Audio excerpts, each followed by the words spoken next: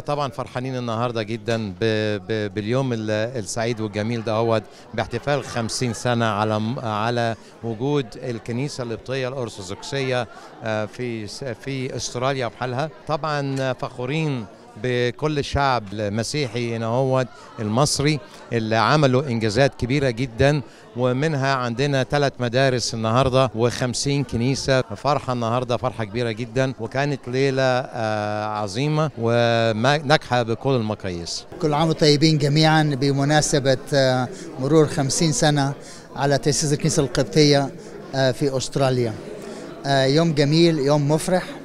وبالنسبة لي أنا بالذات آه، كنت حاضر من الأول خالص فكون إن أنا أشوف آه، قد إيه الكنيسة بدأت وإزاي نمت ووصلت لغاية دلوقتي حاجة مفرحة وحاجة مشرفة. وأنا مديون لأسرتي اللي إن إحنا هاجرنا جينا أستراليا من البلاد الجميلة اللي اعطتنا فعلا فرصة إن إحنا نخدم ربنا في بلد جميلة واعطتنا كل الإمكانيات والحرية والمساعدات. نقدر نبني كنايس ونؤسس كنايس ونؤسس أديرة ونؤسس مدارس. مديون أيضا آه، للآباء الكهنة اللي جم في الأوائل زي أبونا مينا نعمة الله. طبعا ربنا نيح روحه الله يعوض كل من له تعب وأيضا ربنا يسند الآباء الاساقفة وربنا يعطينا خمسين سنة تانية إن شاء الله في إزدهار أكتر وكنيسة اوسع وجيل وشباب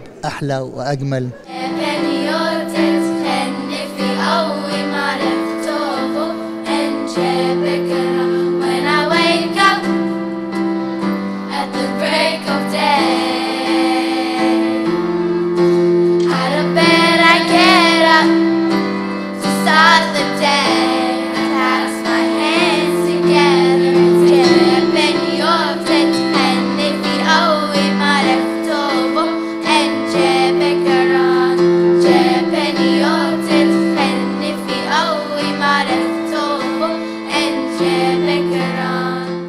Firstly, congratulations on this significant milestone. 50 years uh, for our history is a long time, and uh, you have made such enormous successes during that time. I think, on average, you've built at least one church every year, a school or a monastery, and this is something to be proud of. Secondly, I want to say thank you.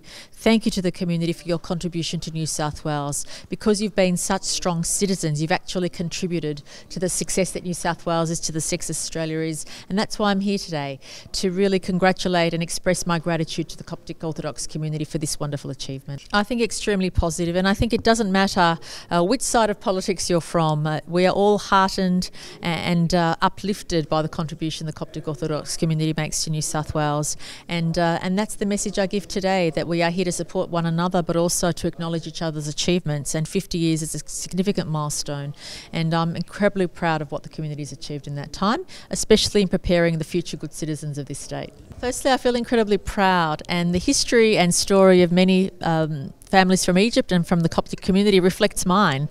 And uh, when I heard some of the Graces speak from the stage about their personal experience and what they went through, what their family went through, I could really relate to that. So I do feel a very strong sense of family and a strong sense of kinship, and I'm incredibly proud to be here. الكنيسة القبطية في مصر دائما هي كانت آه، آه، آه، مؤسسة مصرية وطنية خالصة بتلعب دور ليس فقط في المجال الديني ولكن أيضا في المجال الاجتماعي المجال الثقافي. دايما أنا بكرر أن الكنيسة القبطية في مصر هي نيل تاني بيمشي في مصر. بتمنى للكنيسة في أستراليا مزيد من الإزدهار والتقدم.